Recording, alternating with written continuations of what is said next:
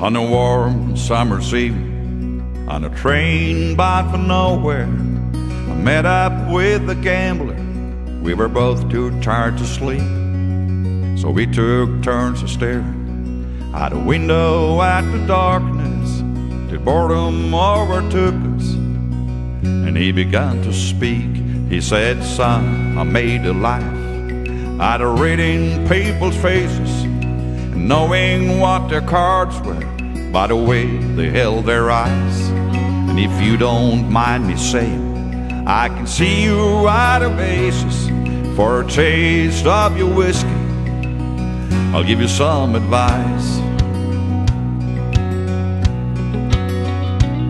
So I handed him my bottle, and he drank down my last swallow. Then he bummed a cigarette and asked me for a light. And the night got deathly quiet, and his face lost all expression. Said, if you're gonna play the game, boy, you got to learn to play it right.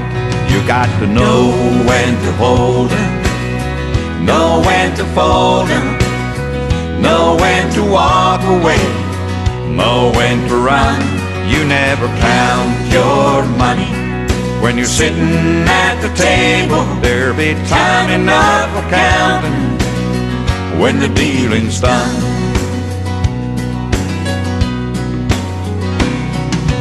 Every gambler knows that secret to survival is knowing what to throw away, knowing what to keep. Cause every hand's a winner and every hand's a loser. And the best that you can hope for is to die in your sleep. And when he'd finished speaking, he turned back towards the window, crushed out his cigarette, and faded off to sleep. And somewhere in the darkness, the gambler he broke even. But in his final words, I find an ace that I could keep. You got to know when to hold 'em, know when to fold 'em, know when to walk away, know when to run.